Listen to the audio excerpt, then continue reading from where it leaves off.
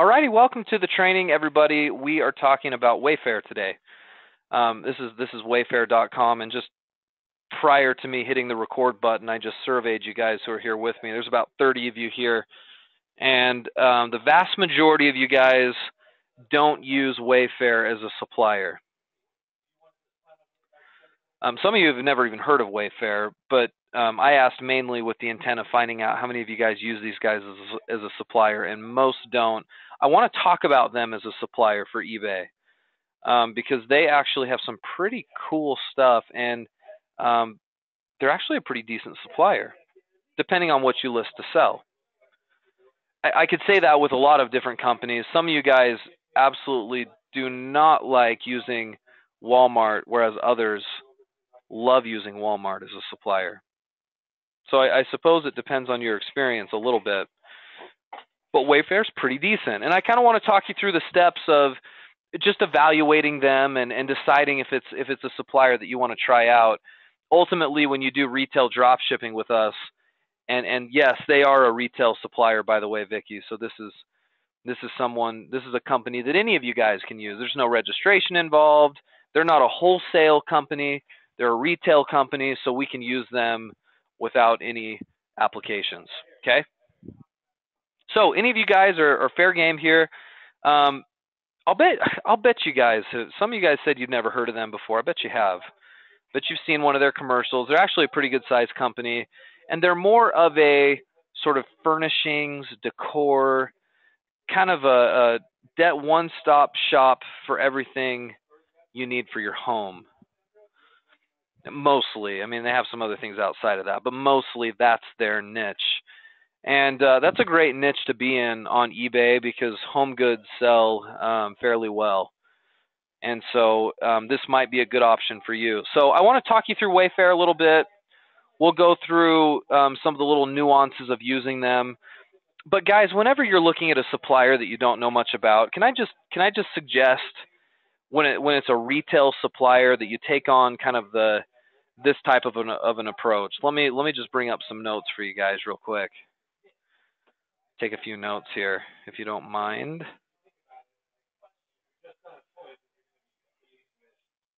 All right, let me zoom out just a tad bit. Um, okay, so I'm going to say, you know, when looking into a new retailer, slash supplier. Number one, we really need to consider their shipping first, don't we? So when you come to Wayfair, let me kind of let me explain how their shipping works a little bit. Um, if you see up here at the top, you're going to notice this. I know this is probably kind of small on your screen, but it's going to say um, free shipping over $49. Do you see that up there? And if I if I click on that, it's going to give me some information about their shipping. So just make some notes here because if you want to use them, it's important you know that their shipping is free on their orders as long as it's over $49, okay? So $49 or over, we'll make a note of that. We'll say uh, free if 49 plus, okay? Now, if you're ordering something that's not $49, it's it's 48.99 and lower, right? Then it's a 4.99 shipping fee. Okay? Which is good to know, right? You need to know that for your for how you're pricing things. So, if less than 49 it's going to be 4.99 for shipping. Now, guys, let me ask you a question. Is that is that always true? Is that always true that that shipping is free for 49 or more and 4.99 if it's 49 or less? It, it's not always true, right? And in most cases, uh, if you look into the details, in which case they have some fine print right here, you'll find that they say some exclusions apply, such as commercial items, home improvement items, large fixtures, non standard items, and deliveries outside the USA. So, in other words, like if you're getting something that's a little awkward, maybe something larger, um, harder to ship, that may not apply. The good news is you can usually figure out through Wayfair if it's something that's going to cost a little bit more. You just add it to your shopping cart and you look you look at the shipping price and it'll tell you if there's a if there's going to be an added fee. Yeah, like you said, Russell, if it's particularly large or heavy, maybe a little awkward, right? So th- there may be freight charges on something like that. So just be aware of that. But by and large, most of the stuff is going to fall in line um, with these items. Now, they also tout the fact at Wayfair that they've got almost half a million items on their site that that qualify for two-day delivery. Um, I'm not going to survey you on this, but how many of you guys use Amazon as a shopper? I'll bet a lot of you guys do. And how many of you guys who use Amazon use Amazon Prime? I'll bet a lot of you guys do, right? Amazon Prime guarantees the majority of, of Amazon items are usually two day shipping. And so that's kind of what they have here. It's almost like their Wayfair Prime items. There's about there's about half a million things on this site that qualify for that. Okay. So just just to note, you, you guys have to know the shipping of a company before you start throwing stuff up on eBay, right? Wayfair has some really just beautiful products. Um, my wife shops there all the time. It's a huge, huge, huge e-commerce site, and there's there's an opportunity to uh, to list their stuff on eBay and make pretty good money off of it. But don't ever start unless you'll look at their shipping first. Okay. What's another thing we need to look at, guys? We need to look at the return policy, don't we? So Wayfair's return policy. If if I want to find that, where do I need to look? Where do I go to find their return policy? Well, sometimes I look here at the top. I see if it says anything there, maybe under account. Whoops. I didn't mean to click on that. You can usually roll your mouse over it. But no, nothing nothing about returns there. By the way, why do we need to know about returns? Why do I care about this right now? About Wayfair, investors, career. Why, why are we so concerned about their uh, returns policy?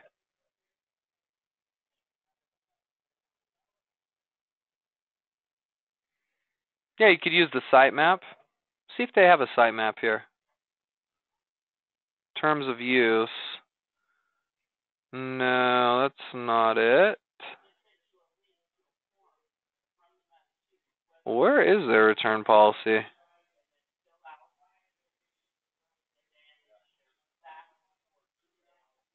Um,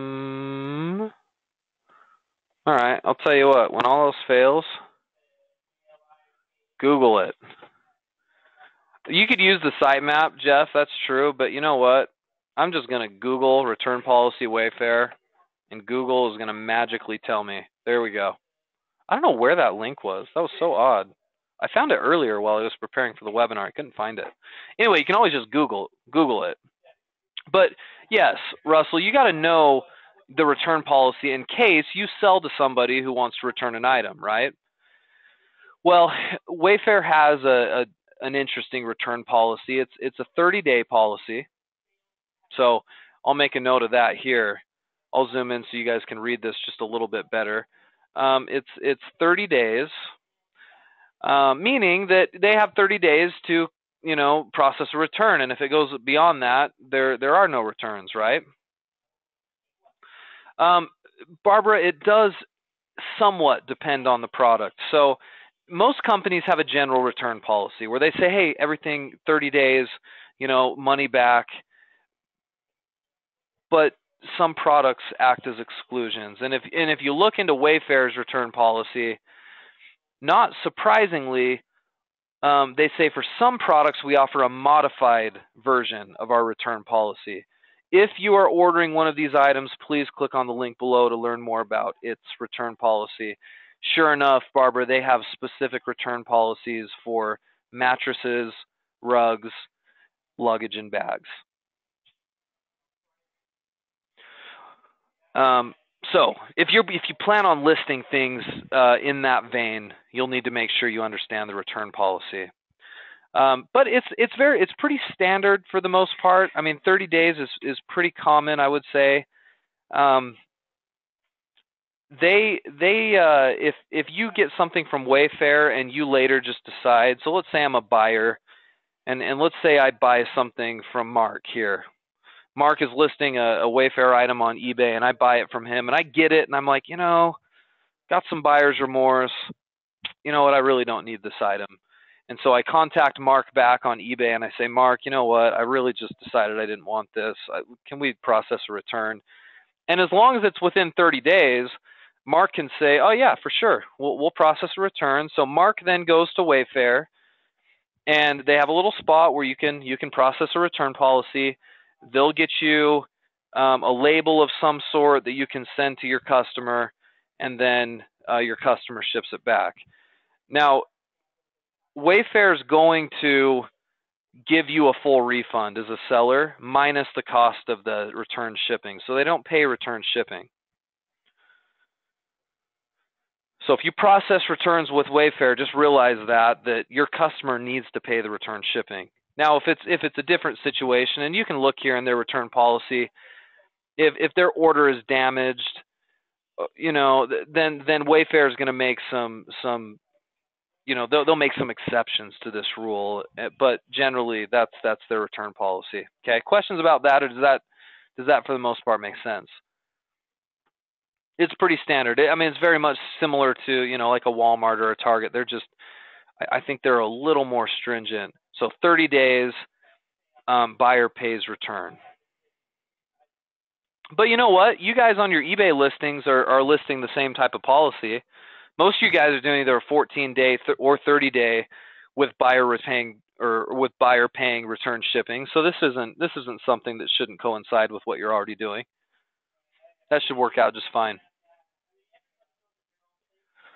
Um, Russell, you say when returning or when return shipping is not included, is it common to make the customer pay? Yeah, it is common. Um, and it's okay to say, hey, by the way, I'm happy to process a return, but per our policy on our eBay listing, um, the buyer has to pay the return shipping. So we're happy to refund you minus the cost of, of the return shipping.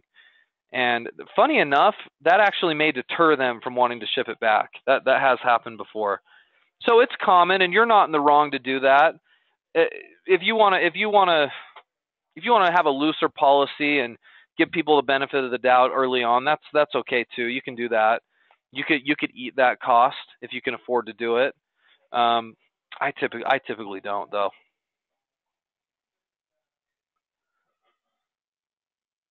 Um, and the customer returns it to uh, Wayfair directly. So to answer your question, Jeff, you, it's not like you're going to get your hands on it. The product's going to go directly back to Wayfair, which is good. Okay, so we've looked at shipping. We've looked at the return policy. There's one other thing I always, always, always look at before I start listing products from one of these suppliers that we haven't talked about. And I look for rewards programs. Okay, now different companies have different re- rewards programs. Uh, a few months ago, we talked about Target and how you get like a 5% back um, if you get a Target card, you get a 5% back on everything. Uh, Wayfair has something kind of like that. Um, they have a a Wayfair credit card. So you can apply if so. Anyway, you're not going to use this, guys, unless you start doing a fair bit of Wayfair business. But if you start selling a lot of their products, you might want to consider getting their credit card um, because they give you forty dollars off your first order of 250 or more, which if you're using Wayfair and you're selling furniture and stuff, that'll happen. So you get you'll save 40 bucks just boom, just for opening up a card. And then you they they have a reward system with the amount that you spend, you you gain rewards points just like any card and then you can use those on Wayfair. Um, which is a big deal because if you're doing you know, five or six grand a month in Wayfair merchandise, that could equate to a whole ton of points that you can be using to save money or to even splurge on yourself a little bit, right? So always, always, always look for some type of a card. Um, so so that you can take advantage of that when you start using a supplier pretty aggressively. If you if you don't know if you're just going to test out Wayfair, don't go get their card yet. Test them out first, and then if you sell a lot, then then go consider it. Okay. I'm not going to go into detail on their card. I, I don't use their card. I, I use Wayfair um, a little bit, but not enough to where I get a I get a card from them. And don't take that to mean that they're not a good supplier just because I don't use them like crazy. I have my own suppliers I use, and I've got clients that have their own suppliers, and and Wayfair gets used a little bit. Some clients swear by it and use it a whole bunch, so it, it just depends. Now, we're not going to pretend to tell you that Wayfair is the cheapest retailer out there. They have some items that are um, that are more expensive that you could actually get somewhere else for cheaper if you looked for it. So I'm not here to claim that Wayfair is the cheapest. They are in some areas, but um, you know you'd have to research some of their products on your own. If you're doing the retail strategy, though, the strategy should be mass listings, bulk postings, and and you can see um, what works that way. Okay. Um, Gail, you say, will they ship to a different address without including your information and invoice? Yes. Gift shipping options are available. Good question. In fact, I need to add that to our list here. Number four, do they gift ship? Right. That's that's an important question. So I, I think I'm I'm talking specifically about Wayfair today, but guys, can you just write down these these four points? When you're looking at a different retail supplier, will you make sure to look at their shipping, returns, rewards, and gift shipping options? Will you look at those things before you decide to list their stuff and make sure you understand them? Because I, I, don't I don't want you to make a mistake not knowing their policies until you've looked into the company a little bit. And Cheryl, good question from you. She says, "Is this only for selling on eBay?" No, you. I mean, you can use Wayfair um, for for your your web businesses as well, your websites. Okay, good question. So let me give you an example of a, a Wayfair product, and I, yeah, I would challenge you to do this anyway, because sometimes this is this is good just for you guys to see that this stuff can and does sell. I was here earlier, and I found this item right right here. It was the first item I looked up on Wayfair. I was going to use as an example for you guys. This is an August Hill corner TV stand and out of curiosity, I copied the title here and I, I went out to eBay and I did a search for this item. I just I just copied and pasted the the title of the item right into eBay. Now note here that this is being sold for $89.99, right? And if I add this to my cart, I'm going to do that right now. Add it to my cart. Let's actually go to my cart here. I added a couple of other things earlier. Let me delete those out. Remove. Remove. Okay, so apparently this item is regular 198. Um, it's $90. Shipping is free, but in most cases Wayfair has tax. So I really should probably add that here too. Number five, do they tax? because you need to know that, right? So you can estimate sales tax. Um, they're saying yes, there is tax, and we could estimate right in the neighborhood of of, of 10%. Even though it's not showing as 10%, it sort of depends on where it's being shipped, right? But but do they have tax? That's a question you need to ask yourself. But no other surcharges or anything, so we should be we should be good with this item. Anyway, if if I search on eBay for it, you're going to see it listed a lot. Okay, this item right here, and, and notice all the different prices. Remember, we're getting it for uh, $96 after tax. So it's selling for 106 here, 122, 111, 999 as an auction. You ought to watch that. 134, 145, 129, 111, 118, 186, 135, 130, 158, 115, 109, 111, 152, 126, 117. Right? These prices are are all over the board, aren't they? Check out this one right here. This one's only 60 bucks, but it probably doesn't have free shipping. But anyway, interesting. I mean, isn't that interesting that those prices are so all over the board? And I can say almost for for with the surety that if you looked up a lot of Wayfair products, you would see a lot listed on eBay. It's not like this is a, a, a super exclusive supplier that nobody knows about. Um, but you see you see some poor titles in here. Some of the titles aren't really very good. Some of the prices are way high. The item's definitely selling. I mean, I, I think it might be this one right here.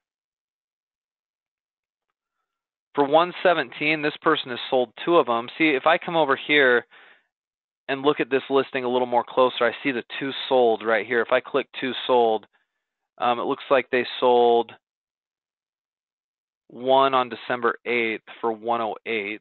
I don't see the other one. And you can actually look through these listings to see if anybody's anybody's been selling these.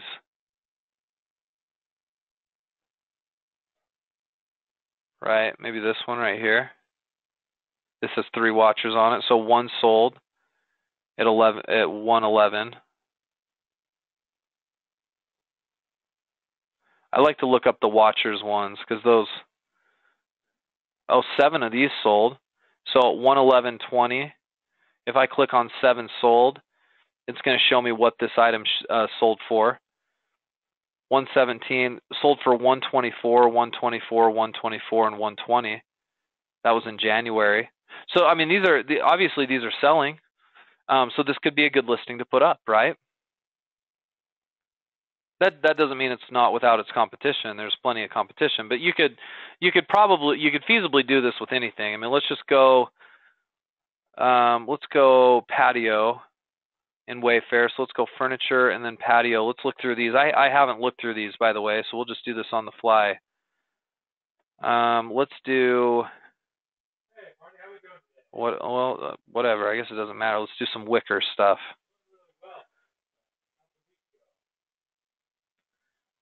And let's do,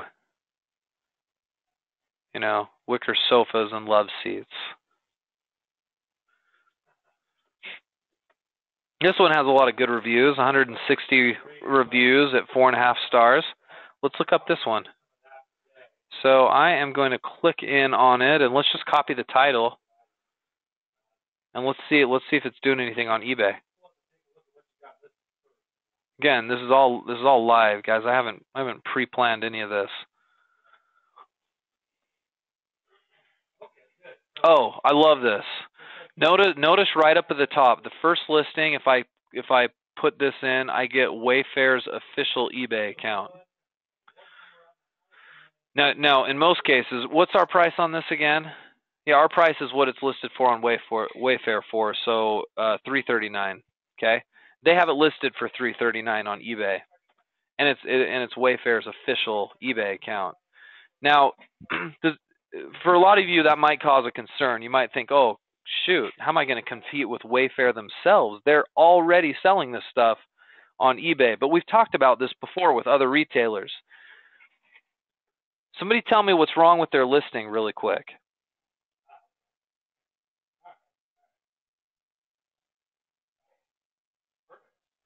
What's wrong with their listing? Yeah, their title is awful, isn't it? This is what's shocking to me. Way, Wayfair has a marketing department they probably have a set a, a little team that handles all of their eBay stuff. Maybe they have a little a team of five or ten people that does all their eBay stuff. Yet their titles are just not very good. Which is exciting for me, right? Because I know that as a marketer, I can go and do a better better title than these guys. I can include better keywords and I can get my Wayfair product to show up in places where theirs won't.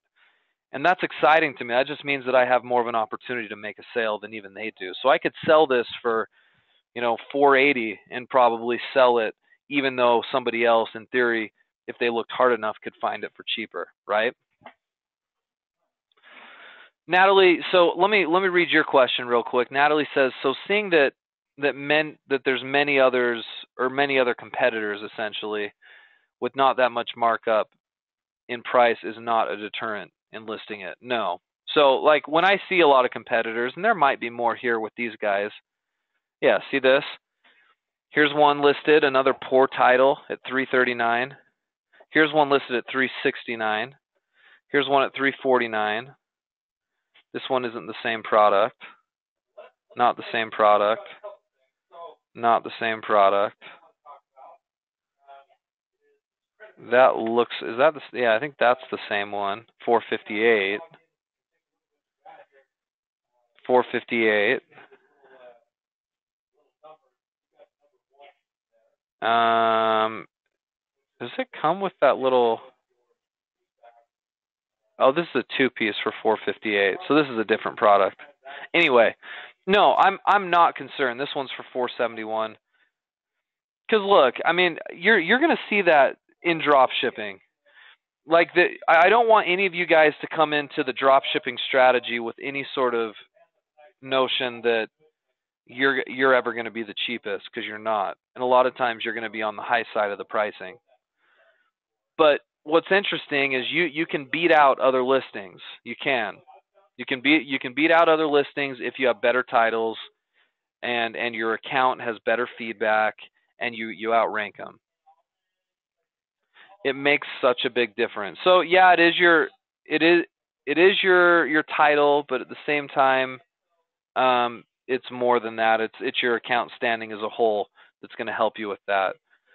Um, so I, anyway, I, I, guess the point I'm trying to make today is I, is I show you is I don't think you need to get in here and do a lot of this research. Let's look up another product real quick just to just to uh, bring this point home. How about this one right here? Thousand bucks. Antigua daybed with cushions. Let's look this up on eBay, shall we? Listed for 942 search. See if we can find the exact same kind. And sometimes you can't by the way even with Wayfair products sometimes you can't. Here's that's the exact same product is it not? Yep. They've got it listed for $1300 we could in theory get this for 942 plus um, plus tax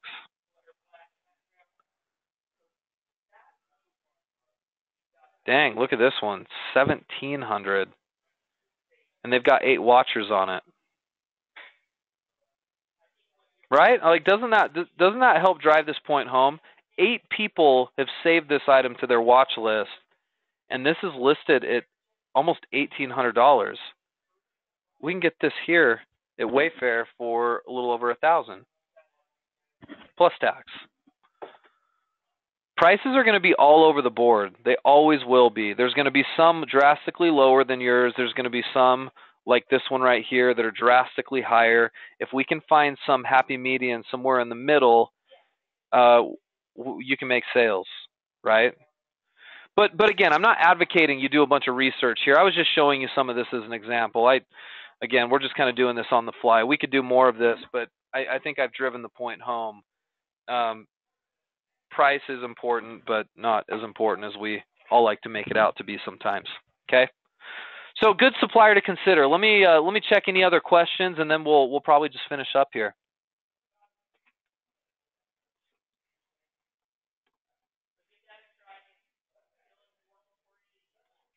Um, Barbara, you say if you searched eBay for outdoor wicker love seat, would the Wayfair eBay account come up? Maybe we could try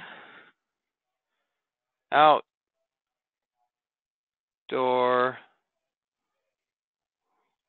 wicker love seat.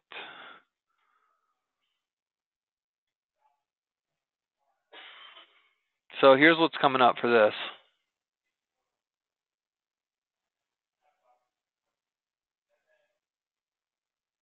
Here's one right here that showed up.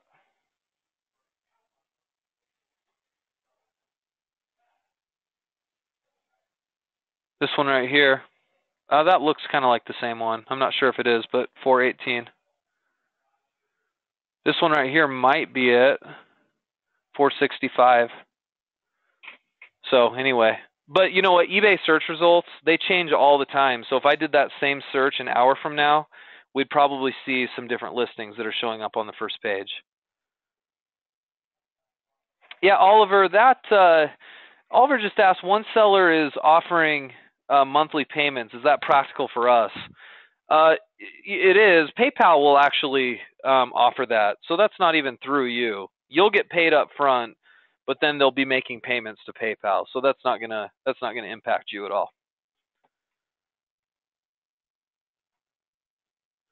Yep, titles make a big difference. Okay, well, anyway, guys, I, I won't I won't belabor the point here. We we've done trainings like this before. I wanted to introduce Wayfair to you. I want I want you guys to all broaden your your perspectives a little bit about what you can use as a supplier. I know a lot of our examples in our trainings have been about Walmart or Target or Amazon or Sears, but but there's other suppliers that are available that you can find out there and this is this is an example of one and if you'll always look at the things that we outlined right here in our notes, shipping, returns, rewards, gift shipping, and tax, so you understand how the how the supplier works, you're going to be better prepared to list. Mean, I won't pretend like I've I've used every supplier out there, right? But I've done it enough and I've used enough to know that these are the main points to look for. Okay?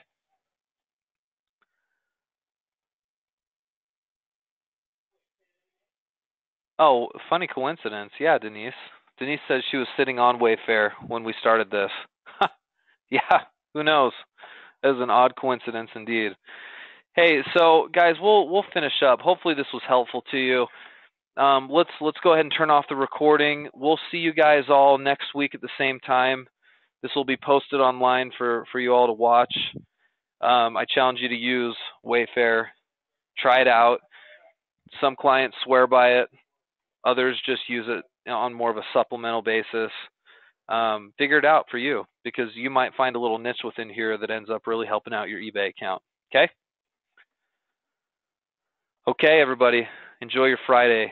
Um, have a good weekend. We'll see you guys next time.